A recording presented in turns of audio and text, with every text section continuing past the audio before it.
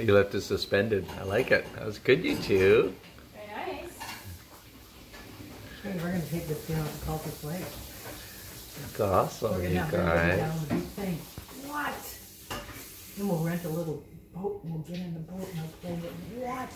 You guys played so well together. It's So you nice know to what see. Julian wants to do? He wants to go for fish and chips and Crescent. Is it Crescent? No.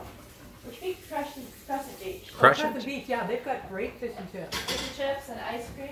Oh yeah, well that's where we always go for ice cream, eh? You, Troy and I?